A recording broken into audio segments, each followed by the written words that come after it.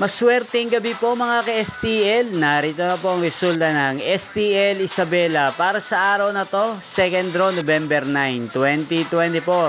Araw ng Sabado, naway ang mga natayaan nyo pong mga numero kanina ay manalo nawa ngayong gabing ito, 7pm. Kaya't kunin nyo na po ang mga tickets. Narito na po ang resulta. Ang mga nanalong numero sa STL Isabela ngayong oras na to, 7pm, second draw result, 35 at 20 in exact order sa lahat po ng tumaya kanina para sa second draw ng 35 at 20. Congrats po sa inyo, panalo po kayo.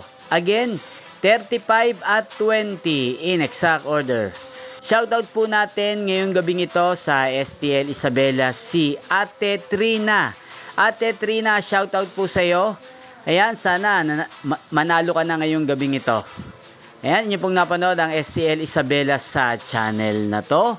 Roderick Hernandez TV. Huwag pong kalimutang mag-subscribe. Kita-kita po muli tayo bukas ng 1pm. Thank you for watching.